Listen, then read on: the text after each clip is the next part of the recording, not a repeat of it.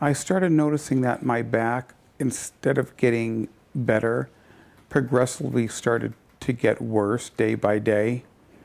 And by the the shot that I received was um, done in, I believe I received one in July and one in, um, I believe it was August. Believe that's when I received that last one.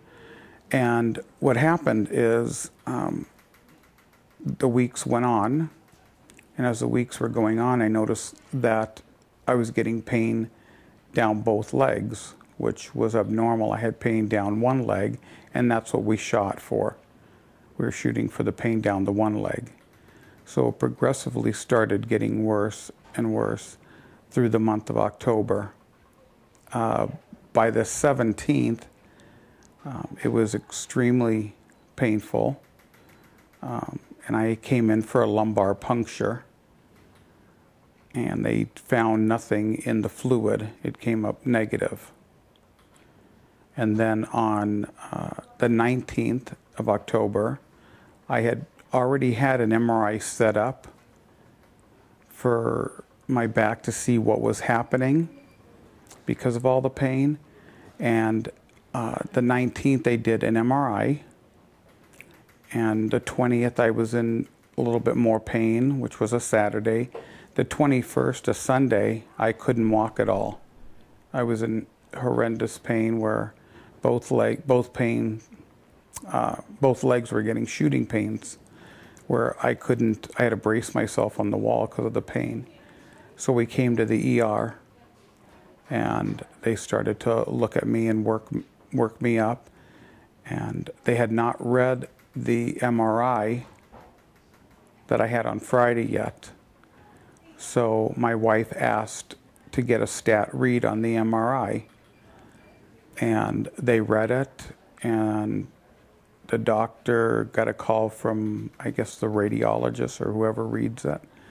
And they looked very concerned, and they talked for a while on the phone, and uh, they admitted me. They are telling me that I have, I don't have meningitis.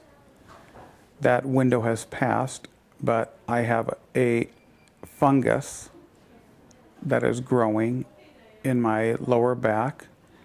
Um, and they have, what they've done for that is they went in and tried to get some samples, basically skin deep, and that didn't work. So what they had to do was they had, I had to go in for an operation and they had to make a slit in the back of my back and they went in there and I guess took some samples, whether it's, I don't know how they do it, swabbing it or, or however. But they took the samples and they have them in the lab right now and they are looking and waiting for uh, the fungus to grow. That could take as long as 30 days, if not more. Um, with regards to that, they um, also told me that um, it's it's an abscess growing back there, so that's what was putting pressure and causing um, pain down both legs. How are you being how are you being treated for this now? Well, it's such uncharted territory for the doctors and across the country. Everything they're doing here they're sending the samples to CDC um, because they want to know what is happening. Um, and the doctors are really, uh, they're doing an incredible job, but it's, it's something that is stumping them to, to a degree. They are treating me with three different kinds of antibiotics, I believe. And um, it's more of a shotgun approach right now until something starts to grow.